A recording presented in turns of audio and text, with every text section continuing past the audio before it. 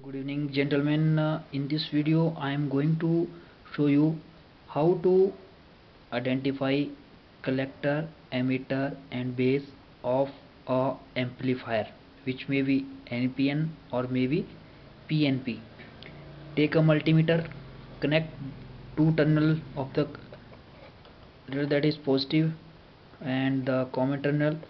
Now here this is the center one this is always base of a transistor and this is the outer maybe this may be either collector or maybe emitter.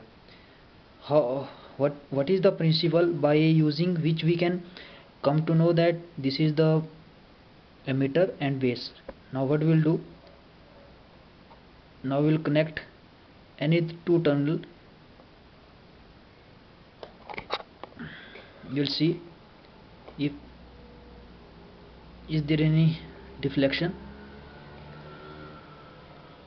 Now from this tunnel will we are measuring this uh, resistance is 691 ohm. And in this tunnel this resistance is 686 so in this tunnel this resistance is less and this tunnel resistance is more. The tunnel which is which have having resistance is less and the terminal which having resistance is more.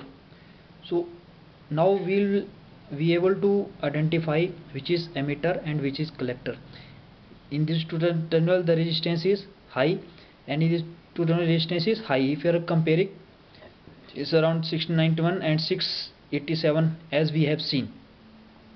So finally we conclude that the terminal which has resistance high is collector and the terminal which has resistance less as compared to these two you know, this is emitter so uh, by using this concept we can identify collector emitter and base.